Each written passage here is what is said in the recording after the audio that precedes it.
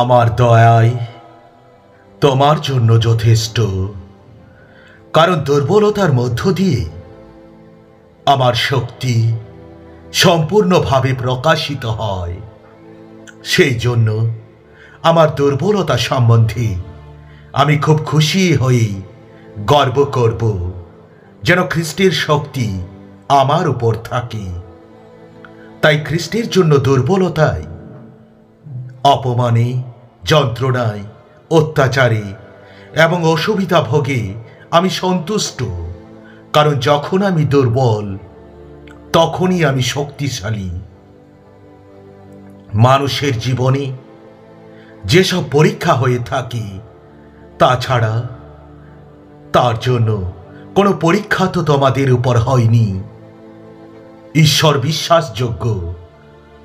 সহ্যের অতিরিক্ত পরীক্ষা তিনি তোমাদের উপর হতে দেবেন না।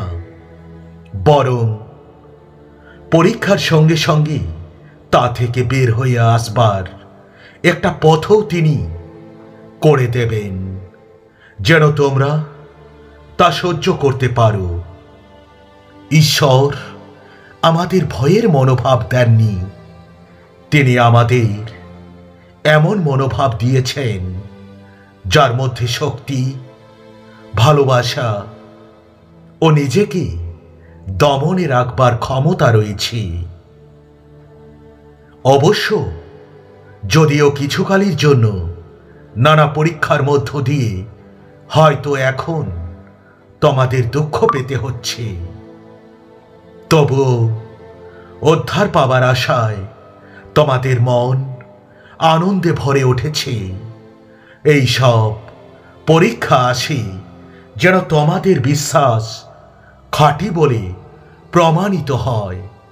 আর তার ফলে যীশু খ্রিস্ট প্রকাশিত হবার সময়ে তোমরা প্রশংসা, গৌরব ও সম্মান পাও।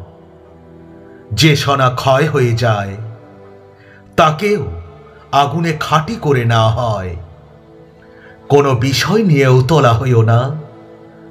বরং তোমাদের সমস্ত চায়ার বিষয় ধন্যবাদের সঙ্গে প্রার্থনার দ্বারা ঈশ্বরকে জানাও।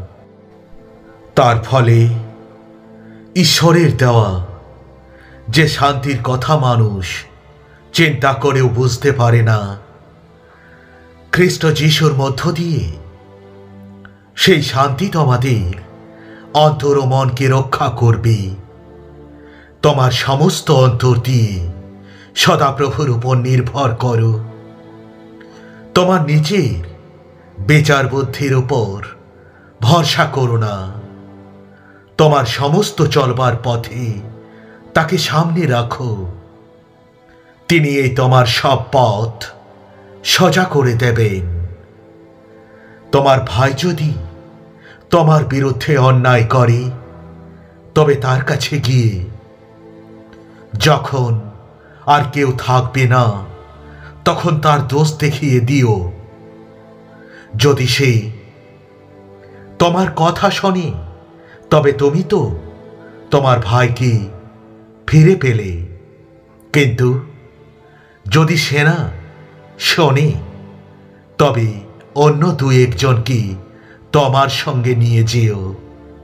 যেন দুই বা তিনজন সাক্ষীর কথায় এই সব বিষয় সত্য বলে প্রমাণিত হয়। যদি সে তাদের কথা না শুনি, তবে মণ্ডলীকে বলো, সে যদি মণ্ডলীর কথাও না শোনে, তবে সে তোমার কাছে অজিহুদি বা কর আদায়কারীর মতো হোক। আমি তোমাদের সত্যিই বলছি, তোমরা পৃথিবীতে যা বাঁধবে, তা স্বর্গেও বেঁধে রাখা হবে। আমি তোমাদের আরও সত্যি বলছি, তোমাদের মধ্যে দুইজন যদি একমত হয়ে কোনো বিষয়ে প্রার্থনা করে, তবে আমার স্বর্গস্থ পিতা তোমাদের জন্য তা করবেন। কারণ যেখানে দুই বা তিনজন। আমার নামে একত্র হয়। সেখানে আমি তাদের মধ্যে উপস্থিত থাকি। যিনি আমাকে শক্তি দান করেন, তার মধ্য দিয়ে আমি সব কিছু করতে পারি। তোমার বিপদের দিনে তুমি আমাকে ডেকো, আমি তোমাকে উদ্ধার করব। আর তুমি আমাকে সম্মান করবে। চাও তোমাদের দেওয়া হবে। খোঁজ করো পাবে। দরজায় ঘা দাও, তোমাদের জন্য খোলা হবে। যারা চায়, তারা প্রত্যেকে পায়। যে খোঁজ করে, সে পায়। আর যে দরজায় ঘা দেয়, তার জন্য দরজা খোলা হয়। তোমাদের মধ্যে কি এমন কেউ আছে যে তার ছেলে রুটি চাইলে তাকে পাথর দেবে কিংবা মাছ চাইলে সাপ দেবে। তোমরা মন্দ হয়েও যদি নিজেদের ছেলে মেয়েদের ভালো ভালো জিনিস দিতে জানো, তবে যারা তোমাদের স্বর্গস্থ পিতার কাছে চায়, তিনি যে তোমাদের ভালো ভালো জিনিস দেবেন। এটা কত না নিশ্চয়? ঈশ্বরের ওপরে বিশ্বাস রাখো।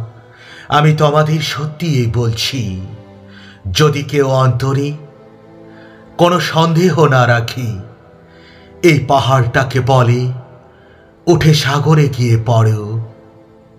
আর বিশ্বাস করে যে, সে যা বলল, তাই হবে। তবে তার জন্য তাই করা হবে।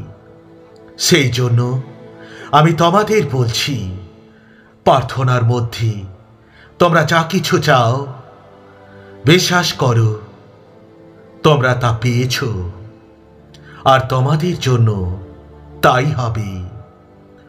তোমরা যখন প্রার্থনা করো, তখন কারও বিরুদ্ধে যদি তোমাদের কোনো কথা থাকে তবে তাকে ক্ষমা করো।